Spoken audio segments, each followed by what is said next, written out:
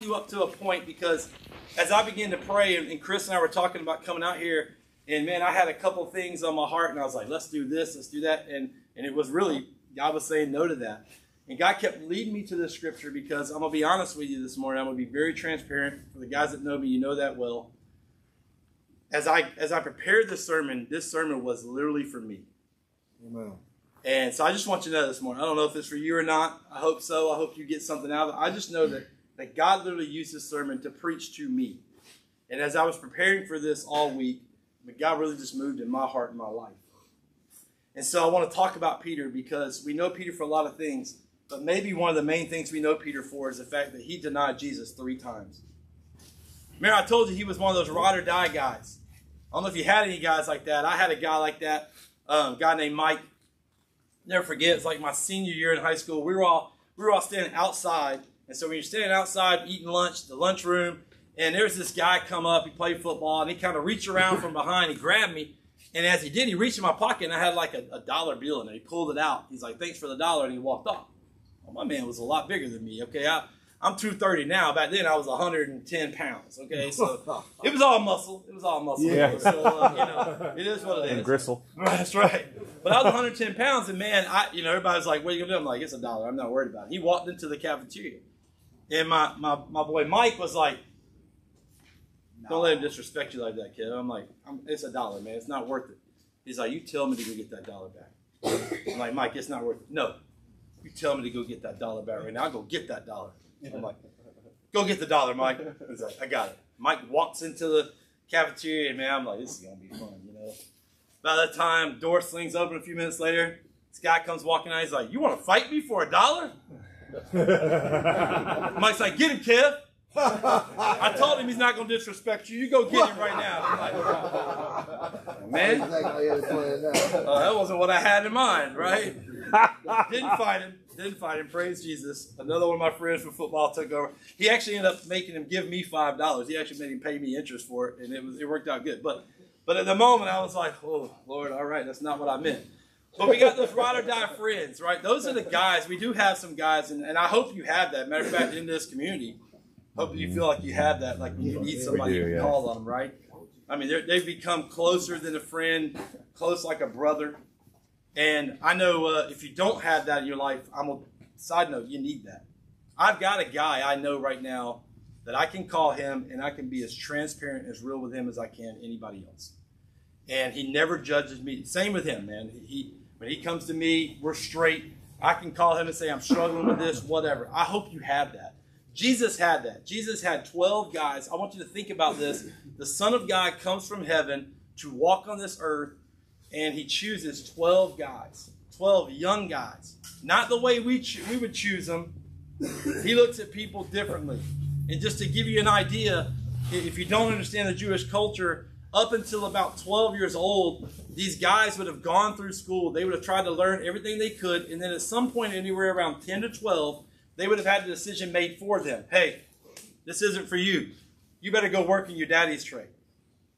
And only a few were selected to say, you know what, you're, you're worthy to go on to become a teacher, to become a rabbi, to become a, it's called talmidim, it's a disciple. And so I want you to understand that every one of the disciples that Jesus chose were rejected. They were rejected by the world. And yet God said, in this time, I'm going to send my son down. I'm going to walk on this earth. And these are the guys that I'm going to choose to do life with. That's pretty incre- incredible. And it gives me hope. I hope it gives you hope. But here's the part I want to get to. And we're going to get into this word. And it's just, you might know Peter for this thing, is that when Jesus needed him most, he betrayed him. He let him down, not just once, not twice, but three times. Matter of fact, right before then, remember, right before then, he had the conversations like, Jesus, man, I'll die for you. No one's going to do this for you. Then, right after that, Judas shows up in the garden. He pulls his sword, he cuts off the ear. Literally, hours later, he's standing there and he's denying Jesus in the middle of everything. I don't know if it would have made a difference. Jesus is on trial. He's in a night trial. He's in a it's, it's behind the scenes. Nobody's actually there. It's not legit. Maybe Peter standing up saying, "This is this is this guy. I am his disciple." Maybe that would have made a difference. I don't know. The Bible doesn't tell us that. What it does tell us is that Peter got so upset, he not only denied him three times, but the third time he, he bring he brought cusses down. He started cussing at folks. I I don't know that beeping guy. I don't know nothing. And then the rooster crowed. And Peter remembered that Jesus had told him what was going to happen. He said, Before the rooster crows twice, you're going to deny me three times. But I want to pick up because as I read that, man, my heart was like, Phew. I don't know how many of you have been there. You're like, man, maybe I haven't denied Jesus, but we've walked away. I don't know. I'm just being honest. Yeah. I have. Yeah. And there's a time in my life where I felt like, man, it's done. And then I read this passage, and I just want to read this passage to you. Mark 16. I don't have my glasses, so we're going to do the best I can. It said, When the Sabbath was over, Mary Magdalene, Mary the mother of James, and Salome bought spices so that they might go to anoint Jesus' body. Very early on, the first day of the week, just after sunrise, they were on their way to the tomb, and they asked each other, Who will roll the stone away from the entrance of the tomb? But when they looked up, they saw that the stone, which was very large, had been rolled away. As they entered the tomb, they saw a young man dressed in a white robe sitting on the right side, and they were alarmed. I would be as well. Don't be alarmed, he says.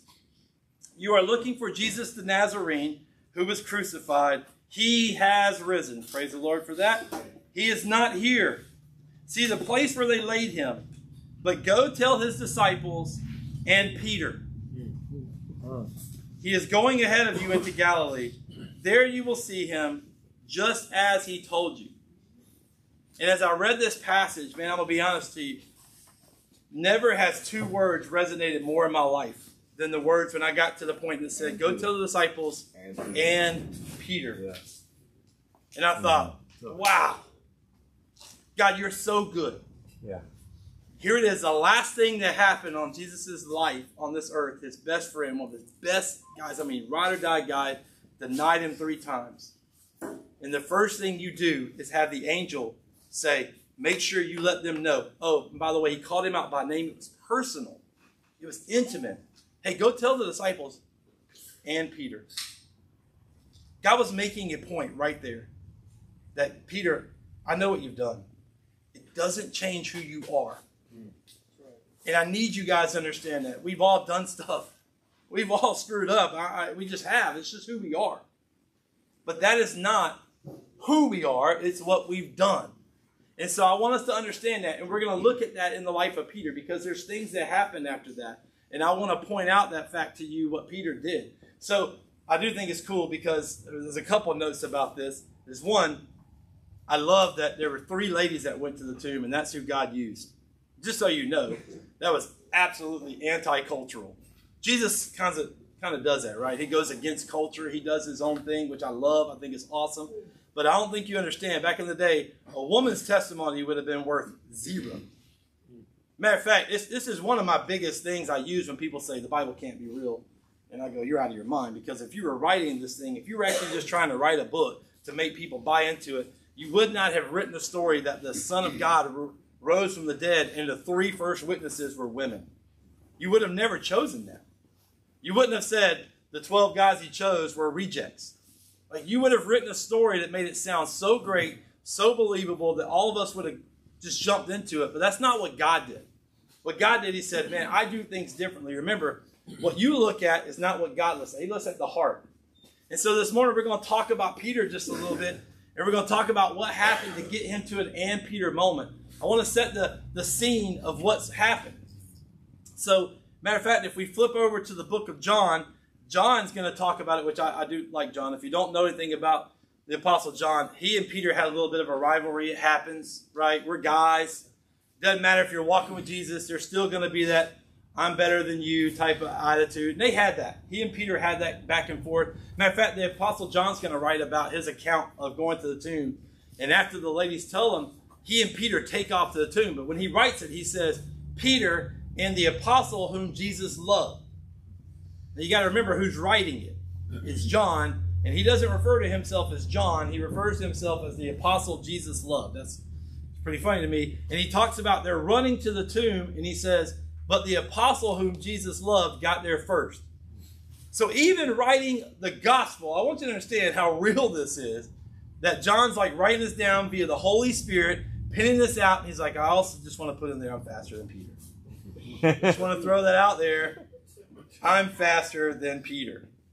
oh, by the way, Jesus loved me. Like, so, but they get to the tomb. So I want you to understand, Peter actually goes in.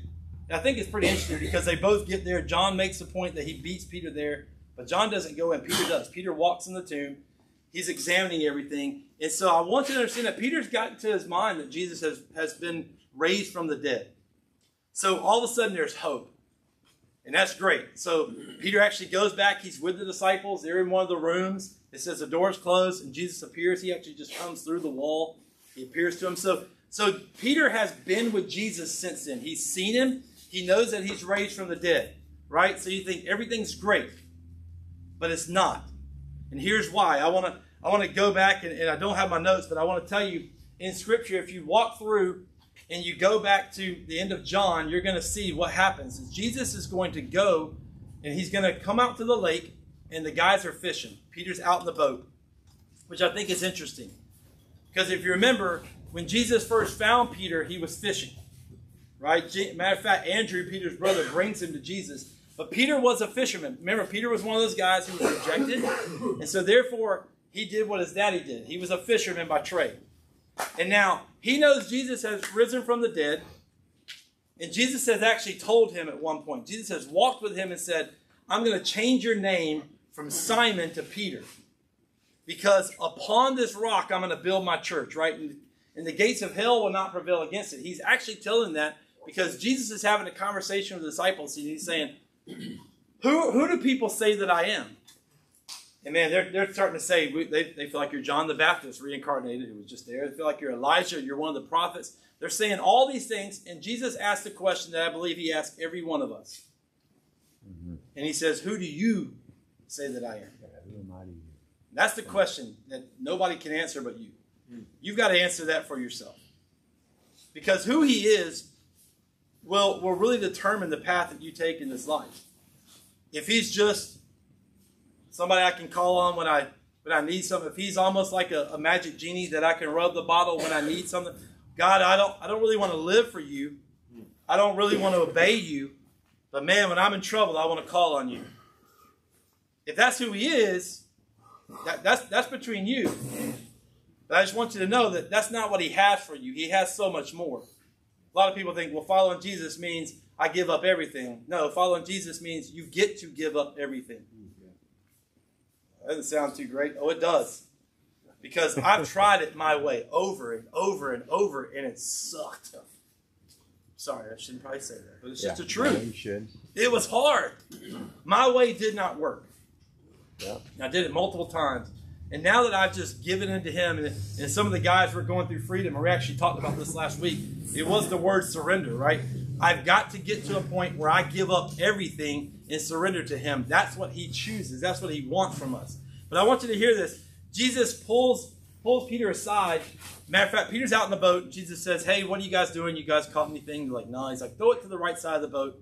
And it says they throw it over and they catch so much fish, like it's like weighing the boat down. But immediately they're out they're out there in the boat, and Peter realizes who it is. He's like, "Wait, it's Jesus." And my man just jumps in the water and swims to him. Like he just he just goes to it. But then Jesus is going to have this conversation with Peter, and maybe you've heard of it, maybe you haven't. But he's going to take Peter aside and he's going to walk with him and he's talking with him. And he says, Peter, do you love me? He's like, man, yeah, you know I love you. He's like, I want you to feed my sheep. Like, Great. Jesus says, Peter, do you love me? Man, you know I love you. Okay, I want, I want you to, to watch after my lambs. And then it says the third time Jesus asked Peter, it actually refers to him, Simon, son of John. And that's key because he, he calls him what he called him before he changed his name Simon, son of John. Do you love me? And said Peter got upset about it. He's like, man, it's the third time you're asking me. But he makes a declaration this time that he didn't the first two times. He says, Lord, you know all things. So you know that I love you. Jesus says, Follow me. And I thought it was very key because I was reading this and I was like, man, here's the passage where they go to the tomb and, and God's making sure, hey, let's go tell the disciples and Peter. He doesn't forget him. It's very personal, it's very intimate. Hey, Peter, I know what you've done. It's not who you are. And then he comes back and he pulls Peter aside. And see, Peter was fine at that point. I believe in all my heart that was repentance. I believe Peter was good in good standing with God. There was, matter of fact, there was another disciple you might have heard of named Judas. And if you follow Judas and Peter, their paths are very similar. They're actually very parallel. What they both did, they both denied him. They both turned on him. They both gave up on Jesus. However, one becomes the foundation of the church of which God builds upon, and the other one is just simply known as the betrayer. And the difference in between is what I want to talk about this morning. I want to make sure we understand. The difference is what happened after they messed up, because we all mess up. So, what happens from that moment? What do we do? How do we go from making sure we're not the guy who goes and throws the silver back and goes and hangs himself to the guy who says, okay, now I'm the and Peter moment. God still wants to use me in my life. And I think is great because what Jesus does is, hey, Peter, you're in good standing. You're great. You're saved. Man, you're still good. You're going to heaven when you die. I, I think, I really do believe that was what was done with the and Peter moment. But then there becomes a choice for Peter after that. And this is what I want to focus on. It's a choice is when Jesus pulls him aside and he walks back through those three things. Maybe it's three times because Peter denied him three times. Maybe that's what he did. I don't know. It doesn't really say clearly. Maybe Jesus like, hey, I'm gonna I'm gonna hit you up three times just to kind of make up for those three times you denied me. But the key is he asked him if you love me. And in the Greek, Jesus is actually asking him agape. He's asking, Do you love me more than anything? Do you love me unconditionally? And actually, if you go read it, Peter never answers him that way. I thought it was interesting. Peter's like, Man, I love you like a brother. He never got to that level. The last time, it was pretty cool. Jesus actually comes down to his level, which is really cool. Jesus comes down the last time and says, Okay, do you love me like that? Do you, do you, I'm going to meet you at your level. But here's the key. Here's what Jesus did. He said, Not only am I going to forgive you and save you, but Peter, I want to remind you of your calling. You see, it wasn't enough that Jesus said, Hey, look, I forgive you. Man, of course, you're in good standing with me. But what Jesus wanted him to know is, man, what I called upon your life, when I made you Peter and I told you you were going to be the rock, that hasn't changed because of your stupidity.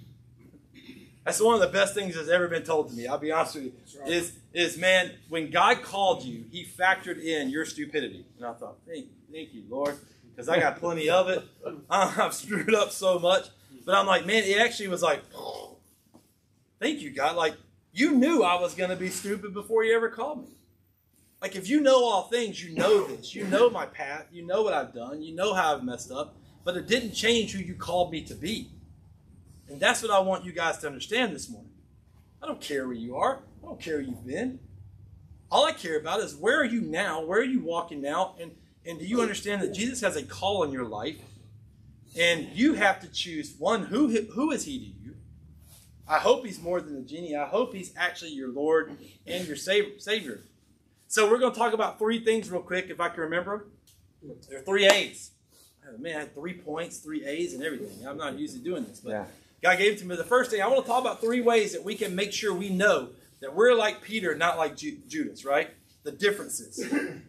and the difference, the first thing Peter did was he acknowledged. He acknowledged that Jesus was Lord. This is key. Whether you've never done this before in your life or whether you've, you've been saved your whole life and you've gone away from it, what you have to do first is acknowledge that Jesus is Lord. The Bible is clear that salvation comes from first, you have to acknowledge that He is Lord then it's Savior. A lot of people say, man, I want the Savior part, right? Hey, tell me I can go to heaven and I don't have to go to hell. I'm, I'm down with that. Hey, you know, do you want to go to heaven or hell? Of course I want to go to heaven. All right, well, just ask Jesus to be your Savior. that sounds great, but I'm going to be honest with you, it's not really scriptural. The Bible is clear that first thing you have to do is you have to make him Lord. What does that mean? I have to submit to what he wants. Now my life becomes his. It's not mine anymore. I have to understand that He is the ultimate authority, not what I want.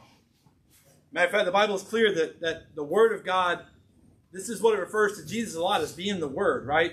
John says that the Word was with God, the Word was God in the beginning, like everything that was created was created through Him. And so, Jesus being the Word, we have to understand if we're going to make Him Lord, first thing we have to do is we have to admit that we're not Lord. We have to admit that we're not in charge, that our ways are not the best ways. And we have to understand that we have to put him first. We have to let him lead our life. And that's what Peter does. I think it's real interesting that Peter goes back to that. The first two times he answers Jesus, it's simply, You know I love you. You know I love you. And then the last time, if you go read it, he says, Lord, you know all things. What does he do at that point? He, he exalts him back up. You know what? Man, I'm going about this wrong. Of course, you know I love you, but God, you, Jesus, you know everything because you are Lord of all things. It's the name above all names, right? It, there is no name given to man to which somebody can be saved. Matter of fact, it says it's the greatest name. At the name of Jesus, every knee shall bow. I love that it says on the earth, below it, above it. You realize that the name of Jesus, I almost get this picture like when we say the name of Jesus, like all of heaven just bows. They get back up. Right? But not only that, the demons bow. The enemy bows. You see, a lot of you are going through something. You might be in some tough times, man. You might be in a spot to where you feel like, yeah, this sounds great, but man, you don't understand. When I'm in this moment, and, and I just feel like I'm overwhelmed and I can't get out of my head. I can't get out of my desire. I can't get out of what I want. Well, the key is simply make him Lord. Exalt his name. What do you mean? I mean, like, I'm just being real with you. Like, when I fall in one of those moments, when I fall in one of those times where I am, I feel like I'm just, man, I can't get out of it, and, and I just have certain desires, I literally have to start speaking the name of Jesus out loud. You're like, man, what do you mean? I'm, I'm, I'm sitting at home or, or wherever I am, I'm just to be like, Jesus. I'm to start speaking the name of Jesus because the Bible is clear that at the name of Jesus, everything has to bow. My selfishness, my pride, my desire, my lust, my envy, everything has to bow at the name of Jesus. It can't stand in his presence. And then what do I have to do, man? When I'm really struggling, I got to worship. What we just did, how we just started that off, that right there is to do it. Matter of fact, if you go back to the Old Testament, King Saul, man, once he once he made some mistakes, which there's another parallel. Saul and David honestly did the same thing. One repented, one didn't. It's a whole different thing. But Saul said he was kind of overwhelmed by the Spirit. He, he would have the Spirit on him because he would be so angry. And the only thing that would calm him was worship. He actually had David come in and play and sing. And he said that when the worship happened, the Spirit would leave him. And so I want you to understand, guys, whatever you're going through, whenever you're in those situations, you've got to make sure that you're doing the things that God's equipped you to do, right? To speak the name of Jesus, get some worship. You can't worry. You can't go. You can't go after your desires when you're worshiping, right? Because you're entering in the presence of a holy God. And so the first thing Peter did was he acknowledged who Jesus was. He acknowledged that he was Lord, right? But then the second thing he did was he accepted his call again. Matter of fact, when Jesus takes him back, he's going to tell him. Remember, so he go, he walks him through. Hey, make sure you feed my sheep, take care of my lambs, feed my lambs. He uses different verbiage, but it's the same thing, right? He uses it, but it's the same thing. He's basically telling him, listen, I know you love me now, but here's your call again. Right? Your call stays the same. I called you to go be fishers of men. Remember, he tells him, and you're fishing for that? And I'll make you fishers of men. So he acknowledges his he acknowledges the Lord, but then he accepts his call again. And his call when Jesus says, Follow me. This is what I want you to do. And I want you to know, man, this is pretty cool. I don't know what call you have on your life, and I know we've had these discussions in group, like what does it mean to be anointed? What does it mean to be called? And I'm telling you that every one of you, when you accept Jesus, you have a call on your life. Jesus was very clear. Matter of fact, you see this multiple times throughout the Gospels. Is Jesus says what we call the Great Commission, which is go and make disciples. That's your call. All of us have the same call when it comes to that, is to make disciples. Now, God will use you in His own way in your gifting to do those things, right? But every one of us, and I've told, told the guys, I'm telling you the same, wherever you are, God wants to use you in that place to reach somebody. There might be somebody that will never step foot in a church, they'll never step foot anywhere else, but man, they'll listen to your testimony. They'll hear how God took you and pulled you up out of the miry clay, out of that, that pit, and He set you up on a rock. And man, He's using you, and He's loved, He loves you, and He hasn't forsaken you. And they'll, He'll use that to reach somebody that would never ever be reached before. So that's your calling. So the key today is you're going to accept Him as Lord, and are you going to? I mean, you acknowledge Him as Lord, and are you going to accept your calling that He has on your life? Because every one of you have a calling, but you got to accept that. All right. And then the last thing is very simple. Once you acknowledge Him as Lord, once you accept the calling, you got to actually act on it. Hmm. What does that mean? Well, if you go, okay, I accept my calling, but then you sit here, you never actually do anything, you haven't accepted it, you haven't acted upon it, right? You've got to do something. You got to get up and do whatever God's called you to do. Peter did that. If you fast forward to the book of Acts, in the second chapter. So the same Peter that cowered down when Jesus was on trial and was too afraid to admit who he was, all of a sudden in the book of Acts, I believe some of the same people that were there when Jesus was crucified are there in this crowd, this huge crowd, and the Holy Spirit comes upon the disciples, and it says they're speaking in tongues, and the people are actually going, Are you guys drunk? And I, I love Peter's response. I, I, love the Bible. If you don't read the Bible and you think the Bible's boring, I got you just got to read it different, okay? Because when you go read Acts, Peter's response is, What do you mean we're drunk? It's only nine in the morning. I know some guys that, that wouldn't necessarily apply to. Okay? I know some guys like nine o'clock in the morning wouldn't be a big deal, but that was Peter's response. Dude, it's nine o'clock in the morning. Of course we're not drunk. But then Peter, what he does next is pretty amazing. The same Peter who cowered behind and denied Jesus three times stands up in front of some of the same people, and I'm talking about with boldness, preaches who Jesus was. No, no, no. Let me tell you what you guys, this is who Jesus is. He goes through, he just simply quotes the word of God and he starts to share with them this Jesus, this is the Jesus you rejected. This is the Jesus you crucified. But guess what? We're here to testify that that Jesus has been raised from the dead and he sits in the right hand of God. And the Bible says that, that 3,000, about 3,000 men came to know Jesus that day. Wow. Man, if you ever preach a sermon with 3,000 people, that's going to feel getting saved. That's pretty awesome, right? But Peter did that. It's the same Peter. So what changed in between? well, what if Peter had done, this is being honest, what I, I've done? See, God had a call in my life early on. And then I, I was living in it, and then I screwed up. And then I was like, I found myself in a spot going, well, that's done. I've messed up my life. I, I, I man, I'm fine. I, I got back in right standing with you. I repented. You've forgiven me for my sin. And I'm good with that, God. I'm, I'm so just so thankful that you forgive me. And God's like, well, what do I still have a call in your life? And I'm like, no, not anymore. I, have messed it up too far. And God's like, no, no, no. And what if Peter had done that? What if Peter just said, listen, that's great. I know what you want me to do, God, but I'm just still too ashamed of my past. I'm still living in who, who the enemy is going to tell me I was because of what I did. And that's what we got to understand this morning. It's not what you did, is what you did. It's not who you are. And I don't know. I don't know any of us. I'm saying all of us have messed up, right? You, you say yes to that? I'm your dad still. I'm watching. all of us have messed up. We've all made mistakes. But you cannot let that define you. You have to listen to what God says about you, right? And God's clear that He formed you. He made you in purpose. I love Ephesians, right? It says you are the God's craftsmanship. That word handy or uh, masterpiece is what it actually relates to. You are God's masterpiece, meaning He didn't just go. He spoke things into being. I love that He spoke everything into being. He spoke the world, the stars, all that we see, but He formed man. He, he took the time to, to form you. And so when you were in your mother's womb, He formed you together. He made you. And Ephesians actually says you were created to do good works that were before the foundation of the earth was laid.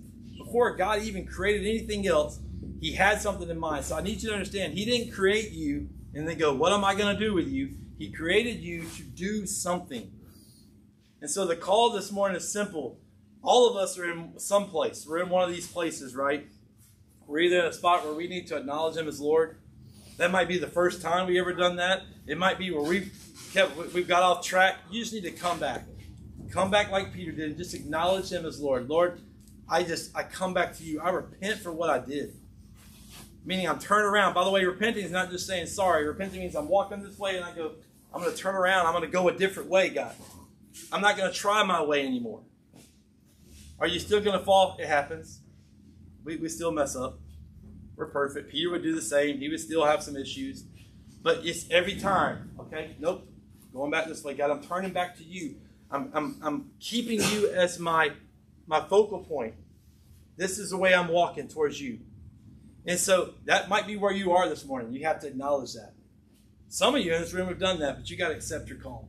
Some of you are just fine just to skate through going, hey, I got heaven, I'm good to go. You go, Kevin, I don't know what my call is. I don't know how to use it. I told you to make disciples. I don't know what I'm supposed to do. Maybe some of you are just supposed to step out here when you go to work and be the best employee you can have. Start there. Be the best employee you can be. Yeah, but you don't know my boss. It doesn't matter. it doesn't matter. Oh, but man, you don't know how I get treated. It doesn't matter. Jesus was spit on and crucified by the very creation that he made. Hmm. And yet he loved them and he forgave them. So my challenge to you, how about you step out onto your job site today, whatever you're doing, and you say, okay, I'm just going to be the best example of Jesus that I can be today. That's that's an answer to your call right there. Some of you have a deep call. Some of you have a call to ministry on your life. I know you were telling me the story. You said it was like five or six of you guys in prison that would get up every morning and go meet and pray, and like every one of you are now in ministry. And I can only imagine in those days when you're actually incarcerated, you're like, I don't know if you could ever see that, but God did. I don't know if you could. I don't know if y'all ever had the vision, man. One day all of us are going to be leading ministry and doing ministry, but God did. That's the God we serve. He already sees that, and so some of us just need to step into our call today. That's our thing. We need to accept it, and maybe some of the rest of us, me included, just need to continue to act upon the call that we have. Right? We need to be that example for everybody else. We need to make sure we're doing those things. And so I just want to know I love you. I'm proud of you. Thank you so much for letting us be here today. I'm to lead us in prayer, and then we're going to sing one more song if that's okay. I don't know what time it is. Make sure we're good. We're good. We got two minutes. Real quick. Might not have time. We'll just pray today. But I do want you to know I love you. I, I'm praying for you, and thank you for who you are. Let's pray. God, thank, Thank you you, so much for who you you are. word. I pray this morning, Father, I just pray you use Lord. this word and that you would just penetrate the hearts of your Make people. I know you did me. You. And so, God, for those in this room this morning, just need to acknowledge you as Lord. I pray that they would just give you their life today, God. Just give it back to you, give you full control, surrender to you. one that shed God, those that just need to accept the call they have on their life, Father, just just allow us to do that. And Father, just we, we want to act upon it, allow you to lead our lives. So God, we give it to you now. Take this day, just use it for your glory. Use us. Lead us where you'd have us to go. In Jesus' name, amen. Amen. Thank you, guys. Amen.